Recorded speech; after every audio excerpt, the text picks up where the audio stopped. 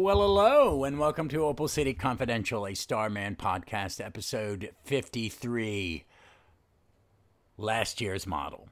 Um, I'm titling this episode that. That is the title of the first issue of these this two-parter, issues 26 and 27 of Starman Volume 1, starring Will Payton, and this is the meeting of Will Payton and David Knight, and the first appearance of David Knight as Starman. Um, I've been looking forward to reading this because I have never read it, as I have not read any of this series until I started, except for some stuff at the end that was tied into Eclipso, that Eclipso event. But I was looking forward to it, and I've gotten to it, and I have thoughts. So let's get to the first issue. Let's go to Mike's Amazing World and get the information on Starman 26. Uh, it was cover dated September 1990. On sale date July 31st, 1990. It was a dollar. I would kill for a dollar. Comics, uh, they are so no longer here. Edited by Katie Main. Uh, it is again next year's model. That is the actual title. I've called it last year's model because I'm a jerk. Um, I don't know. It just uh, that was my thought. Uh, written by Roger Stern, art by Dave Hoover. We have a new artist, Dave Hoover. Um, it's okay. It's good. It's I like Dave Hoover. I like. It's not bad. It's good. But I really, really was loving Tom Lyle, and I miss him. Inks by Carlos Garzon, who I really love his inks. He did some inks for Al Williamson on the Star Wars newspaper strip, which was beautiful. Uh, letterer Robert M. Pinaha, colorist Carl Gafford, features Starman, of course, his mom and dad, Jane and Marie. Uh, it's got some new characters. The villain is Nimbus. Um, and also appears David Starman, David Knight, the son of Ted Knight. Uh, there's some cameo appearances in Will's thoughts of Hawkman, Flash, Doctor Fate, Midnight. Um, and the synopsis in Mike's Amazing World is this David Knight, the son of the original Starman, plans to take over his father's superhero legacy. He then learns there's another Starman already using the name. Angered, David contacts the media and arranges a challenge to the new Starman. Will agrees to meet David the, at the Astrodome. He is cordial and even offers to change the name, his name if necessary. However, David sucker punches him and starts a fight. David's trainer, Andy Murphy, encourages both men to fight. It results in David being knocked out. Murphy then takes Starman's cosmic belt, David, uh, cosmic belt. He reveals that he is actually the Starman's original, the original Starman's former foe, the Mist, though he now chooses to call himself Nimbus. Um, this is the first appearance of Nimbus, the first post-crisis um, appearance of the character, and I don't really get why they changed his name. It's silly. It's silly, silly, silly. So let me just give you my thoughts on this comic. Um, it was great. I really did like it. I really did like it. The art, I missed Lyle immediately, but I think uh, David Hoover does a fine job. He could tell a story. It's uh, he's done other stuff that I have liked. Uh, such as the Wanderers Max series. Wanderers were a Legion spin-off when Legion was at its height. They were spinning off some of the other characters. Wanderers was a bunch of super teams. He did some. He does some of this. He does some Marvel Comics presents. He's a he's a good comic artist. Just good. Just little G good. Can tell a story. Um, I think it suits as a continuation of um, Tom Lyles. I don't think that their style choices are that far apart, which I kind of like a little bit of continuity, but I also like a jump.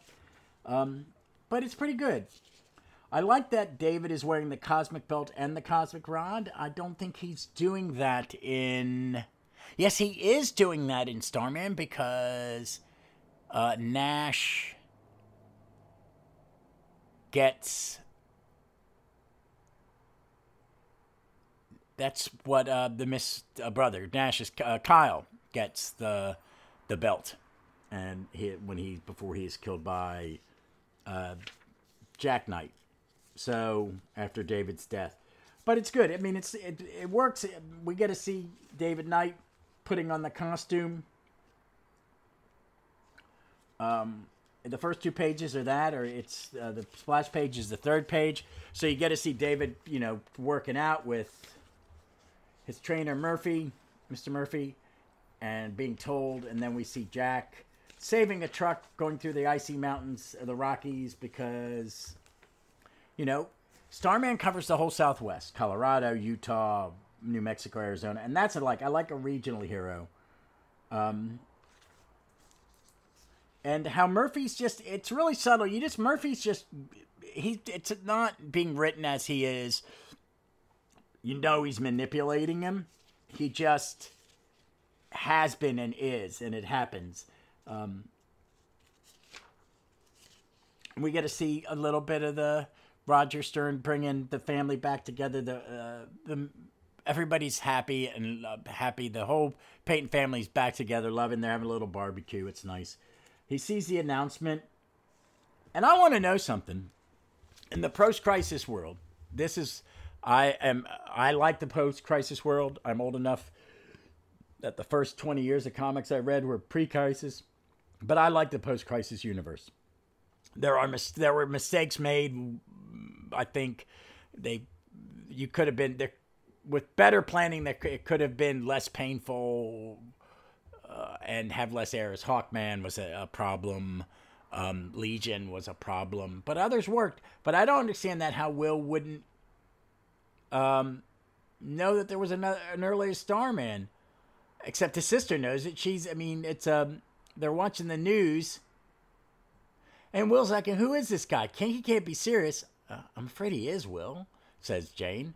A couple weeks ago, I found this at the library library book sale, Altered Egos. It's about the costume heroes of World War II. So, well, there was a earlier Starman, and that man is a spitting image of him. I guess it's not surprising. They've never heard of you've never heard of him. According to this book, he retired shortly after the war, end of the war. Uh, I wonder why. Hey, he was even a member of the Justice Society of America. Mom, don't look at me. That was before my time. All I know that those war heroes were some vague stories my uncle Max told me when I was a girl. I was a little when I was a little girl. I, I don't remember much about him, so they don't know. So she, they don't know, and she continues. But I still recall Uncle Max's eyes would brighten whenever he heard talk about them. And then Will's reading from books. They were quite a crew, all right. Doctor Fate, Hawkman, Doctor Midnight, the original Flash, all of them. To think that that Starman was one of them, he must have really been something told his own with that company. He had some strange enemies too Brainwave, the Brotherhood of Electron, the Mist. So they're dropping a hint. Roger, you're a smart man. He's dropping a hint. And then uh, you see on the, we go back to the TV, and David is challenging him to come to the Astrodome. We get to see that um, reporter that looks like Gabe Kaplan from Rock, um, Welcome Back Kotter again. um, Starman's cheered when he arrives. Will's cheered. Um, um, and he goes out there and he's like, uh, he apologizes. He introduces him. Hello, how do you do? Better than you. Uh, uh, look, I'm sorry if my being called Starman has offended you or your family. David goes, Are you? Yes. You see, the name wasn't my idea. Some kid called me that the first time I appeared in public, and it's it stuck and you can hear you can see um, Murphy whispering or hear Murphy whispering in his ear. He's full of it, Davy. Huh? He's trying to play you for a sucker. Something wrong? Are you all right? And David's like, I. He's trying to make you look incompetent on national television.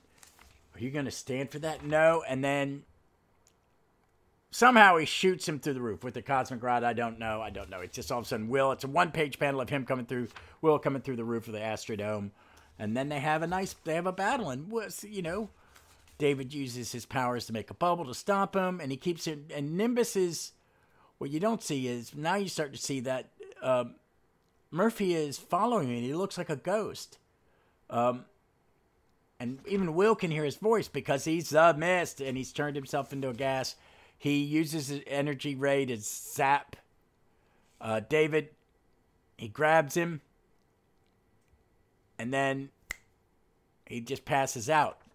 He's gone catatonic, and then you see they land, and Murphy's there treating him. He's like, and uh, Will's talking. It's still all being televised, and Will's talking, and Murphy's checking out David Weiss passed out, and Will goes, "You heard the man. Give him some space."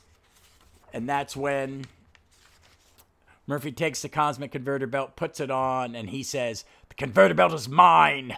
Chain, charged with enough power to level. Oh, yeah, that's right, because Will's power overloaded the belt. Uh, um, and I will. Uh, the converter belt is mine, charged with enough power to level the world, and I owe it all to you two. It took months of manipulating to get Knight under my control, but it was worth it. Duping the son of my oldest foe more than makes up for the defeats his father handed me. You and Will goes, You yours was a voice I heard. Who are you?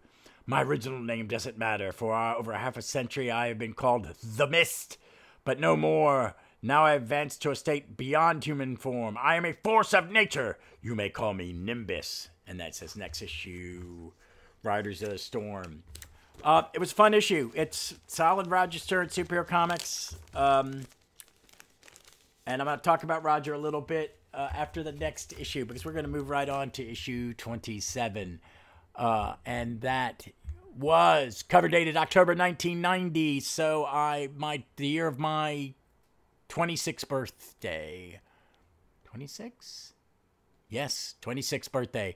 Um, came out August 28th, uh, 1990. Was a dollar. Editor Katie Main.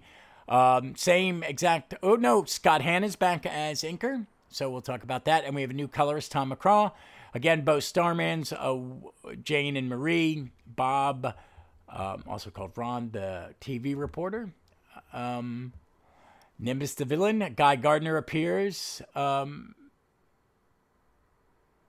Oracle has a quick appearance. So does Ted Knight in a flashback. Um, the synopsis for this one is With the power of the original Starman's cosmic converter, Nimbus grows in size and power. He begins taking on over the world's weather. Starman and David Knight help to rescue people most affected by the growing storm. Working together, the two men are able to take back the cosmic converter and defeat Nimbus. David's cosmic rod is damaged beyond repair during the fight. He's assigned to step aside and allow Will Payton to continue using the name Starman to carry on his father's legacy. All right, now let me pull this bag boy, bad boy, out of its bag and board. Um, Starman 27.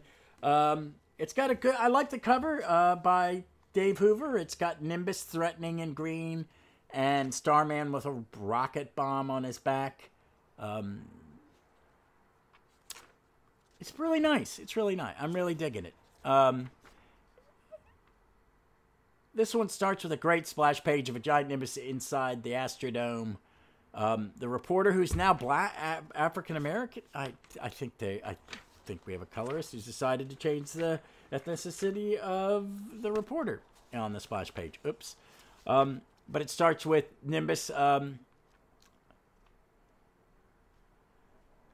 the reporter doing doing some exposition, uh, which I won't read, but it has uh, Nimbus. Well, I mean, it starts with some uh, the exposition from the reporter updating the reader, and Nimbus saying that he is now more powerful with the converter belt, and he's created a giant storm, and he can hold. He, he's still got the kind of instead of having the whole wispy body, you know, like this head with no body that he had always been portrayed as before. He has a body of a like looks like a tornado, which is I really love the mist. So this is not this is not one of my favorite things in in this Starman is to read him. But it was the era of redoing stuff. But his hands can hold things. He's a giant. He's creating a, a storm. It's knocking out power everywhere. Starman gets tossed across the town through an empty building because in these days you couldn't have someone just go through a building where someone could get hurt. They didn't even want to infer it. Um, but there's the storm is all over and Will is trying to he flies trying to get back to the battle. He's trying to call out Nimbus. He gets hit by a lightning bolt. Uh, and he's nailing there in he's standing the poor in and then David comes to help him and David just has his cosmic rod. He protects them both from the storm and then Nimbus appears. No, you um and they're um well okay, no, here's there's something great here. I I, I don't want to skip this. Uh, Ted get, I mean, not Ted, Jesus. David gets here and he lands, and Will goes, "You, you're you're all right. You can still fly. I thought Nimbus stole your power supply. Only one of them. My star scepter. I like Cosmic Rod. I do not like Star Scepter, but it's better. You know, you can't do the dirty jokes with uh, with uh, the Cosmic Rod jokes. As an energy converter itself, listen, I owe you an apology. When I attacked you, I was under the being that being's influence. I'd like to put our differences aside for now. The way Nimbus is the way Nimbus is going to town, I'd say we better. Speak of the devil. Good Lord, Murphy. No. And then um, that was David and Will's um, little conversation. And then Nimbus goes, "No, you insignificant speck. You never. There never was an Andy Murphy. I was. It, he was just a mask, a charade. It's like, and Will's think it's like confronting the great and powerful Oz. It does. It does look like the great and powerful Oz. Um, so he dismisses them. He stops the storm, and then these two heroes fly off. They rescue some people from a uh, who from a capsized a tugboat that's run into a ship. Um, they put out a fire at at a oil refinery. All this is from the storm. They clean up the oil that's being poured into the bay from the wreck. They take the people to, you know, they rescue people. They um, do all this. Um, and then they go to Star. Are they at Star? Yes. Oh, the Johnson Space Center. They go to the Johnson Space Center, and there is David working with the scientist. Uh, I love this. Will thinking, who designed this lad? This Lucas or Spielberg? And you see David. He's talking there with us. He's talking about the rocket and the monster, and he gives you some exposition. Um, and he wants to he wants to talk to uh, to Will and explain this. I need to, I need your help. I also owe you an explanation, but there isn't much time. As long as Nimbus is out there, this country, the whole world is in danger. He was he has an especially deep-seated loathing for the United States. As the Mist, he was Dad's most persistent enemy. I know about him over, only from reading about their battles when I was a boy. Back then, they seemed like fantastic figures from some adventure comic. At times, I didn't know that my father had been Starman. I've only found out, out after my fa- mother died. She kept my father's secret, all her my father's secret, all her married life, and they had always been a certain distance between myself and my father. The only thing we had in common was our love for her and our fascination for astronomy. After months, mom's my mother's death, I had made attempts to bridge the generation gap, but Dad kept playing the great stone face. I remember thinking he was as remote as the stars. Now I know he was, he was at war with himself over what to tell me and how. Six months later, he finally broke his silence. His silence. Dad, I got a message you. Come in, David. There's something I, I, you should know. He had shaved off his mustache and washed the gray uh, from his hair. He could have passed for my twin, but that was part of the surprise. He told me his days as starman had given him a, and how he'd been given up the life when he was married. But early in his career, he and the Justice Society members had been eradicated by a bizarre explosion that slowed their pro- process and processes slow their processes slowed their aging process. Missing a word there, Roger. As mo- mother and grown older, he had aged himself cosmetically.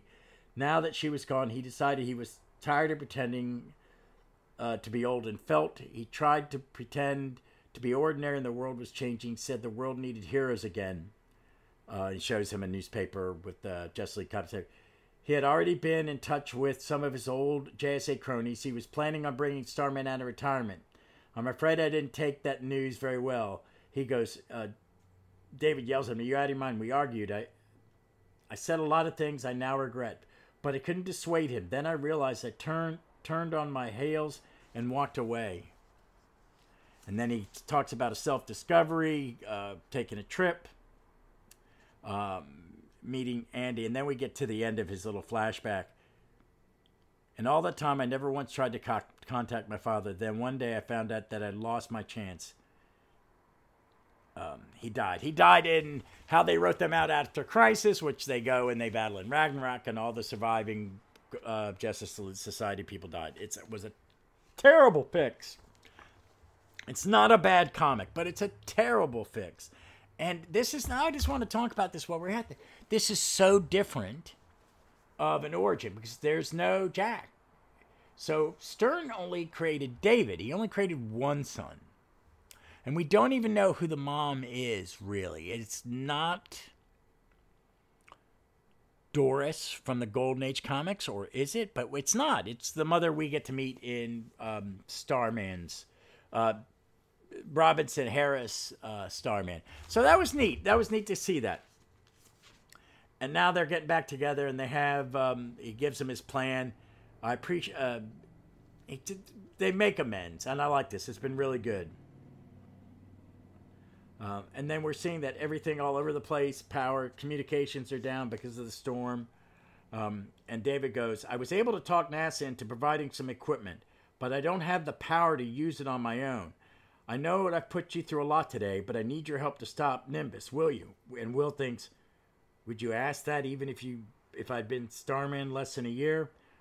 Where I got those powers by accident? You keep looking at me as if I, I were the old pro well, next to you I am. What do you want me to do? So he flies up with this um, this bomb or whatever, and he goes to the cloud that is Nimbus. Is this a cloud with a big head? Um, and he's like a missile. How quaint! Ha ha ha! Um, and Will goes, "Hey, keep laughing, blowhard. Take, um, I'll make it easy to shove this down your throat." Ha ha! Come right ahead, but be careful. I'm afraid it's a bit windy out today. God, these are some great but bad lines. So he's powering up the bomb. He flies into the cloud, gets zapped by lightning. David shows up uh, and is being zapped and zapped. He's, he's protecting himself with his cosmic rod, his star sapphire. Um, and he uses it to steal the converter from the cloud, and then they together melt it, and it explodes. Um, David throws falls to the ground because his cosmic rod is melted. Star Sap, Star Scepter, and then he goes. He just they have a nice little saying goodbye. Um, he feels bad. Uh, David says, "Stooge, go ahead, say it." A, st- a stooge with a star scepter is a lot more dangerous than any normal stooge, or any three stooges for that matter. And he tells him he's just been a failure, and he gives it over, and they they become friends. I like it. Uh, I wonder what Stern would have done with David if he had brought would have brought him back if he'd said because um, we're getting near the end of his run. Uh, I like the changes in. I, I like the differences. I get where Stern was going. I like the changes that Robinson makes so he can create Jack when Will's kill when Will's gone. So overall, I like this two-parter. Was it as good as the last arc? No, not really. It was pretty. It was good. It was a solid superhero comic. I found I didn't like Nimbus and I didn't like the tweaks in Nimbus and I thought Nimbus I, I don't I really like the Golden Age Mist and the Silver Age Mist and I really love Robinson's take on the Mist. So this version of him didn't really hit it with me. And it's just that kind of early 90s uh, post-crisis reboot stuff that I don't really like. So, but it was okay. It was okay. But overall, the art was good. I, I, I, there are going to be a few issues with Hoover. There is one more Roger Stern issue, which is part of the Red Kryptonite Caper storyline. It's it's so it's part of it. It's an insert chapter in a four-part Superman story. So there are five issues, four issues of Superman comics, and then the one Starman, which that has one of the few Triangle era if you know what that means, there was an era post crisis, post Byrne, where they had four Superman books and you would read, there was a triangle that told you what order you should read them in week to week because it came out, you know, one dip book came out every other week. But you didn't have to. You could read Man of Steel, you could read Action, or you could read The Adventures of Superman, you could read Superman. They all had their own creative teams, their own plot, but it read as if the all these things were going on at once, and that was continuity. It was amazing, and I loved it. And they've announced the first Triangle omnibus which excites me. So I may do some triangle reading when that comes out later in the year. Uh, I'm very, very excited about it. Very, very excited. And the Starman um, is kind of like through part 3.5 or 2.5. But I'm going to cover that whole story as one episode. I'm not going to cover all the individual issues, really. I'm going to kind of go quickly over the Superman parts, I think. But I will be doing that, will be the next David. I'm not sure David will be in two weeks. I have some other plans There's other Starman that I kind of want to cover, so I want to kind of do get take some time to read those issues, figure out how much of, um, of it I'm going to do, or if I'm going to get a guest to come on and do it since it's the last Roger Stern one. But I don't think it's the single issue is really that important. Um, but we're getting near a change, and I also want to read up on why it happened, so I can talk about it better. And I will be using um, the Bill Simone articles uh, from back issue uh, to do some homework. So we're probably going to pause for David for a few weeks. Uh, some of the options coming up is the Japanese movie The Evil Brain from Outer Space, which involves a character called Starman. I watched the first of the three movies that make up that trilogy um, from the 60s, 50s, and 60s in Japan. And so I got to do some homework before that. I'm also going to be covering a little, um, a little Black Hammer book, but uh, called Doctor Andromeda, which was originally when it first came out in its issue form and in its first trade version as Doctor Star. They've changed it to Doctor Andromeda, but I want to cover that too. And then Kirby came up with a smart idea because he's a smart young man that I should cover the Jeff Bridges movie. And I think I will because one, I love Jeff Bridges. I think he's one of my favorite actors. He is one of my favorite actors, and it is an amazing movie. Him and uh, Deb, um, good God, I'm forgetting her. The young woman from Indiana Jones. God, I'm an idiot, but I'm not going to go look uh, because I just forgot I'm an idiot. But I'm going to do that. But I like this two parter. It was neat. It's got JSA. Um, I don't think. I think that I can imagine that this David is the David that is in the beginning of Starman. I don't think Robinson tweaks him that much, but most of my David is the nice guy that meets with his that I know is who meets with his brother every year and talking to David. So, but hey, check these out, folks. It's fun. I'm enjoying the run. I'm, I'm um, everybody who's been reaching out to about there are few people in reaching out, and I want to thank them again. Uh, we got a nice response from Ben uh, Sherman, who I read out, and he's uh, commented. Um, he commented on a post when I was promoting this upcoming episode. Uh, he wrote, uh, he listened to Billy on World on Fire, the great Billy D. Um, I love being on World on Fire. We did a great uh, DC Comics presents uh, Freedom Fighters team up, uh, uh, Superman Freedom Fighter team up. Loved it.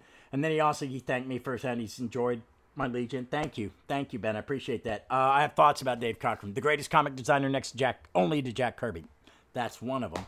Um, and he commented on the structure. I appreciate it. Uh, and I know there's a long term plan. There is. And Kirby has added to it.